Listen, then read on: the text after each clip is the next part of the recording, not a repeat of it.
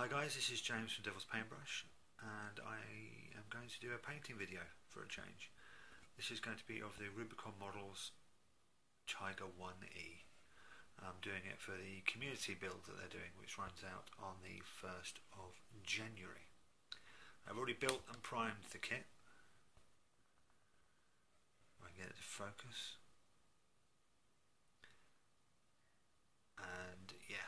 Also at the back there I've got some of Rubicon's German stowage kit. There's an ammo box, some tarpaulins, a couple of jerry cans, a helmet, and of course what every tiger needs, a bucket. I'm just get a focus it's not going to focus. And just top it off, I have the Tank Commander, which is a Warlord Games. I've taken it from the plastic Panzer IV I've got, which will be built sometime soon. So what I'm going to do is I'm going to do it stage by stage because I don't have a camera. This is all done on my phone. So this is it built and primed. To come back again shoot it once I've done the base coating and then again once I've done a bit of weathering and then decals etc etc etc so it's going, to, be one video but filmed in four sections over a course of a couple of days. Um, and what I'm going to do with this um, if you saw my previous video it's going to be a tiger from Camp Kampfgruppe Hummel which took part in the Battle of Arnhem in mid-September 1944 which is why if you look at the back it's got the uh, tropical filter. Uh, the unit next to the exhaust. So it's going to, it's an early model um, Tiger. Well, it's going to be painted in late war colours with lots of distressing and probably red up oxide wheels and armoured panels because they were cobbled together from training tanks and scraps and spares so hopefully it's going to be a really interesting tank to look at and watch. So uh, come back in a couple of minutes and uh, we'll see you with his base coats on. Catch you in a bit. Hi guys welcome back and as you can see the base coats are on. The uh, tarpaulins have been base coated in grey green by Revell Aquacolor. The Tank Commander mix of uh, Revell and Citadel colour and this tarpaulin is beige by Revell Aquacolor. The hull of the tank is base coated in Africa Brown again by Revell and the tracks leather brown again by Revell and the turret just the same apart from the interior of the hatch has been undercoated in grey which will be highlighted up to interior white. Right, that's base coat done. I'm going to do some hard edge camo and then it's time for weathering and shading and then I'm going to do some washes on the equipment and the crew just a simple uh, Nuln Oil or Agrax Earthshade depending on what I'm doing let that go off and then it'll be Highlight City.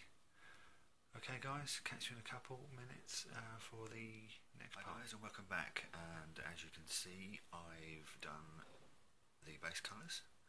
I've done the red oxide primer. And I had a major major trouble with the camouflage. It just wouldn't work.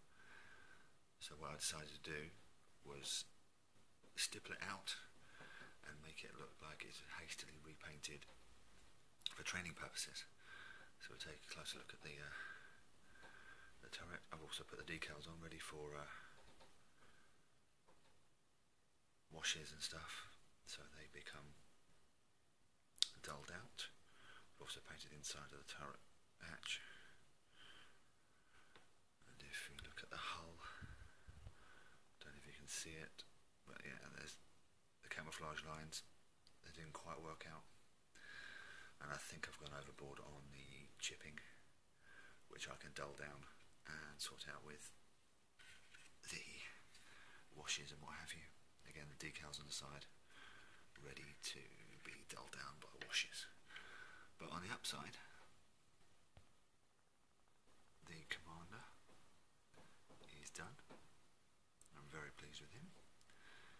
His epaulets and headphones and everything. And also the rest of the stowage is done. So I can pick this up without dropping any. And I dropped the bucket. But yeah, that's all done, all highlighted up and washed. So that'll be good. And there's the bucket. So uh, yeah, the next stage is to do washes and and the weathering, and then hopefully we'll be done. So uh, join me in a couple of minutes, and uh, we'll see how it goes. Hi, and welcome back. This is the finished piece. The finished Rubicon Models Tiger 1E. It was an absolutely lovely model to build and paint. And uh, considering I don't have an airbrush, I think I've done a really good job, I say so myself. The stowage is by Rubicon as well, as I think I mentioned first off. But yeah, it's a lovely kit. Got the oil marks across the engine deck. Exhaust scorching. Scorching around the end of the barrel. I drilled the barrel out as well. Don't know if you can see. There you go. And then Tank Commander. Warlord. But yeah, uh, get another lovely model to build. So there we go.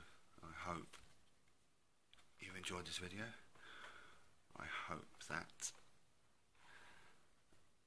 I've explained enough what I did and introduced enough colours for you because obviously I don't use Vallejo like most people, I use Citadel and Revell. Um, post any comments if you want to know what colours I used or any techniques that I used, especially considering I didn't use an airbrush. And as usual, consider giving us a like and uh, pass it on to your friends, etc. Again, any comments, any criticisms, all welcome. Um, as usual, thanks for watching guys and I'll catch you in the next video.